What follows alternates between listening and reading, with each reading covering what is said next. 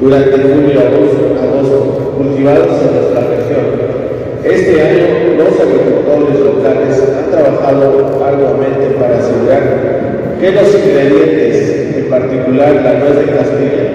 la pera lechera, la manzana panochera, el durazno criollo y el chile poblano criollo, sean la mejor calidad para el platillo principal de esta temporada. A lo largo de su historia, los calpenses se han dedicado a la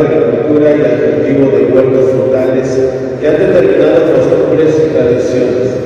Desde hace 20 años, Calpan es reconocido en la elaboración de chiles en y cada año sus habitantes abren las puertas de su casa para que los visitantes se deleiten con este manjar gastronómico. Por esta razón, nos complace invitarlos a la ventada feria de Chile Nogada en el municipio de Calpan, el corazón y la tierra de Chile en Nogada, y que se llevará a cabo los fines de semana del mes de agosto, y teniendo una gran inauguración el 5 de agosto a partir de la una de la tarde, en la explanada principal ubicada en la calle 16 de septiembre, y posteriormente todos los fines de semana hasta el 25